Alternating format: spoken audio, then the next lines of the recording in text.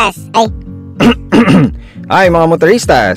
Last time ay sinimulan natin ang biyahe papuntang Pagsanhan aka Cavinti Falls. Mula sa Los Baños, Laguna ay nasa 65 kilometers lang ang naging biyahe namin. At kung mula naman sa Makati ay nasa 125 kilometers. Nung huling episode, binisita natin ang Bumbungan Falls at nag-trek tayo hanggang sa Pagsanhan or Cavinti Falls. Challenging ito dahil sa tarik ng mga hagdan, pero exciting at the same time, lalo na sa part na may rappelling.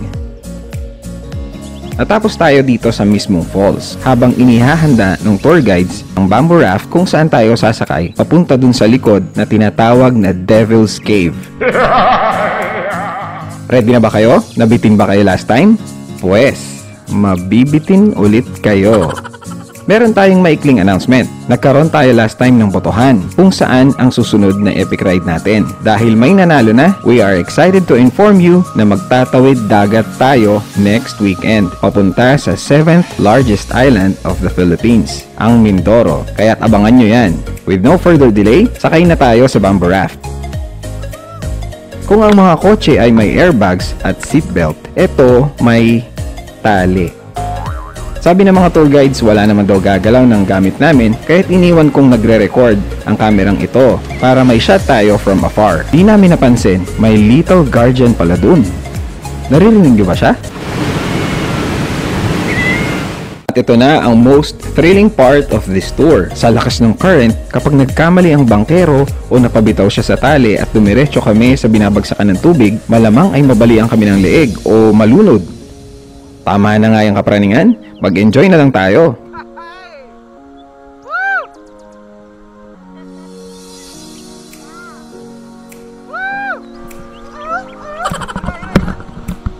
Ramdam mo yung malamig na hangin habang papalapit, pati pinong-pino na wisik ng tubig at palakas na palakas na pagbagsak nito. Ibang level talaga ang experience na to.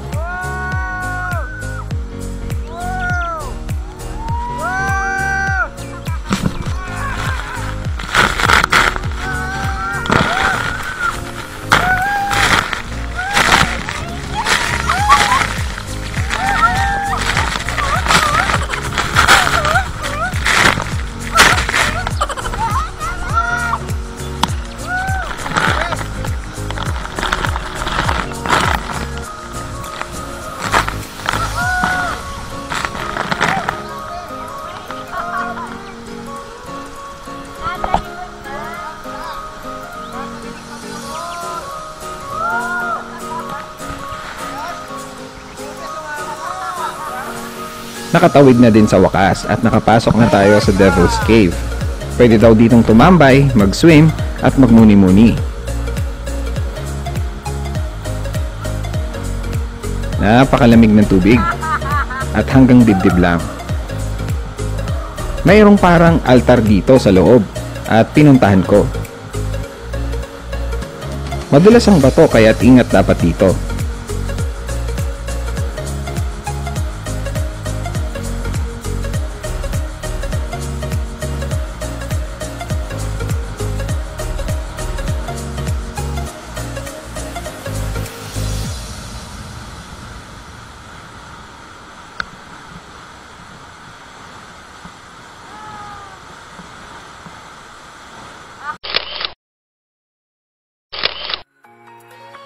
Pagkatapos ng ilang minuto ay umalis na din kami at for the second time ay mas enjoy namin ang pagtawid.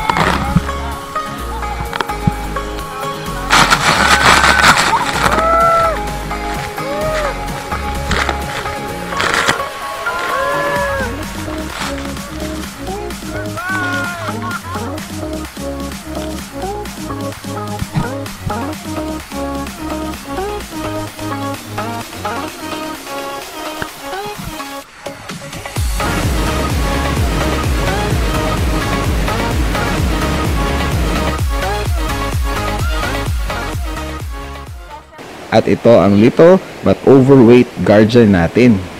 Di ko maisip kung papaano siya tumaba ng ganyan sa ganitong lugar. Hey, Garfield. Garfield.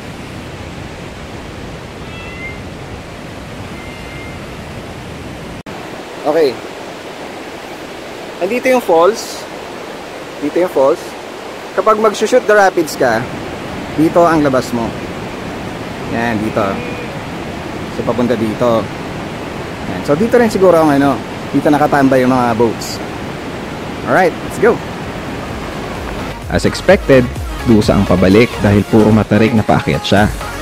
Nasa 70 to 80 degrees yata ang angle nito. At syempre, ang ating favorite, ang vertical ladders. This time, mano-mano ang akyat.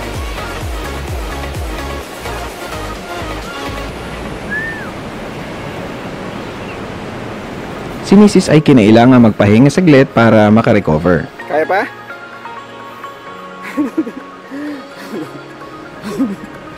ano pong masasabi niyo ma'am? Nakaka-vote na lang tayo. Ha? Vote na lang.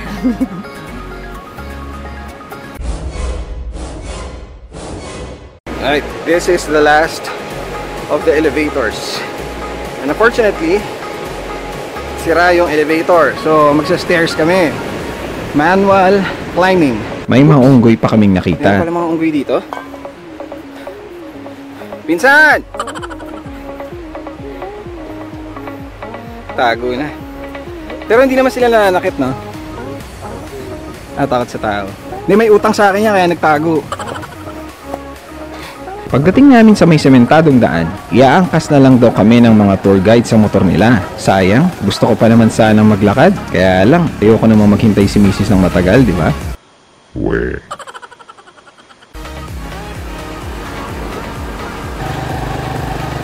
Mabigat ba ako? Hindi naman ako mabigat. Tinatanong kanina ng tour guide kung anong pangalan ng vlog ko sa YouTube. Kaya't bago umalis ay pinuntahan ko sila at nag-promote. Kung todo makapicture naman sila, kala mo artista. Pero accommodating ang mga staff nila dito, kaya't wala kang magiging problema. Next destination, sa Japanese Garden. Pero hindi na tayo dito papasok dahil gutom na kami. Ipapakita ko lang sa inyo ang papunta doon at ang rates nila. Okay din siya sa mga nagliligawan pa lang dahil wala ka masyadong gagawin doon kundi talagang mag-usap. Nasa kanan natin ang Kaliraya Lake. Ito ay isang man-made lake na binuo noong 1939 pa with the approval of President Quezon. Ngayon ay nagkalat ang mga resorts and restaurants sa paligid nito. At dahil sobrang gutom na kami, we decided to have lunch first sa nirecommend ng isang tour guide sa Sunrise Restaurant. Pagpunta namin ay umayaw si Commander-in-Chief. Gusto na lang daw niya ay Mexican sa isang restaurant sa Pagsanhan. Ano pa bang magagawa ng sundalo kundi sumunod sa commander, di ba? Yes.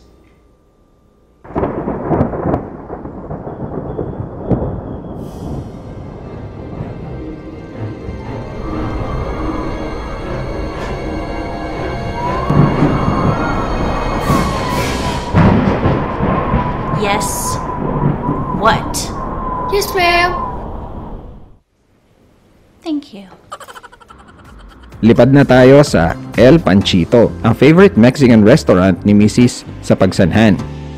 Paglampas nyo ng arko kung galing kayo ng Cavinti, kakanan kayo sa kanto.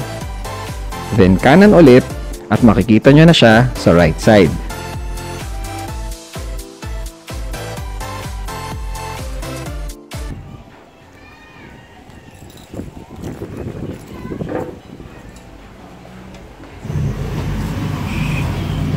Hi.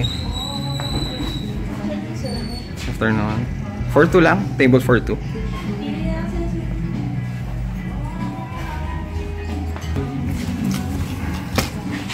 We like the place dahil cozy siya and talagang may Mexican feel.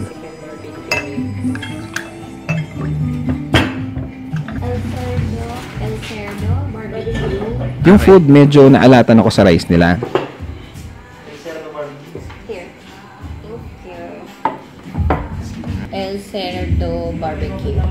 El Cerdo Barbecue, this Yeah. one.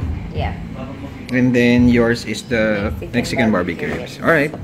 After the meal, hindi namin pinalampas ang pagkakataon. Nasubukan ko ang famous halo-halo ni Aling Talengs dito din sa Pagsanhan. Sa signage nila ay nakalagay pa na since 1933 pa ang store nila. So I expected something special. Na-try na din ni Mrs. ito dati at nagustuhan niya. Sige. Dalawa.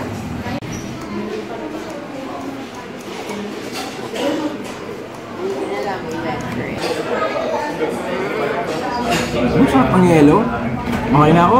For me, masyado siyang matamis. Or siguro dahil na-compare ko siya sa halo-halo sa Bagasbas Diet nung huli nating biyahe. Pinataas nila masyado ang standards ko.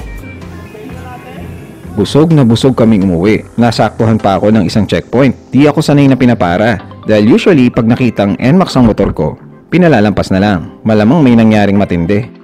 Bago ako umalis ay sumimple pa si kuya ng picture. Napasmile tuloy ako kahit naka-helmet.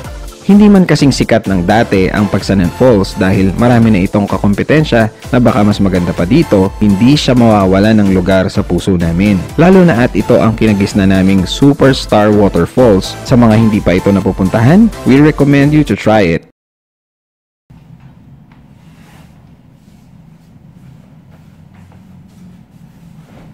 So, remember the blogger that I was telling you about?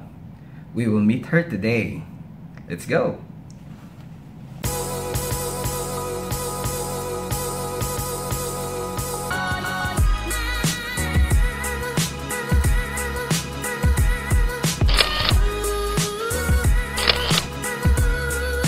Her name is Cara Santos. Isa siyang freelance writer and photographer. Isa din siyang travel blogger, biker, motorcycle enthusiast, and adventurer. Sa kanya ko nakuha ang idea of touring the 81 provinces of the Philippines. You should check out her website and Facebook page or simply type travel up on the search bar. I will also leave the links on the description below. Malapit na niyang matapos ang challenge niya and hopefully makasama natin siya sa remaining provinces na pupuntahan niya. Kaya abangan niyo yan. Okay? Magkita-kita ulit tayo sa susunod na adventure. Thank you for watching.